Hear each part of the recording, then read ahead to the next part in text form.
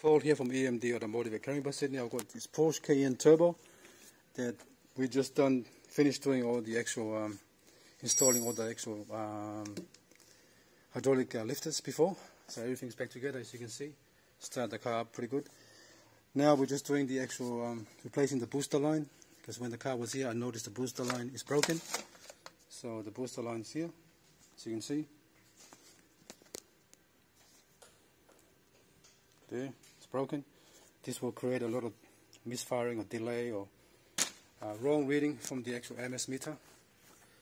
Um, that's the other one is broken here as well. So we got a brand new one now. So that's the booster line. So it goes to here, all the way to here. That's a brand new one, and that's the other part, a brand new one as well. That goes from there to there. This part here.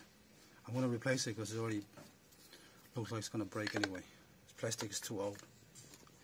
Alright, and then after that we're going to put everything back together here and then we're going to be ready for road test. Alright, thanks for watching and please subscribe.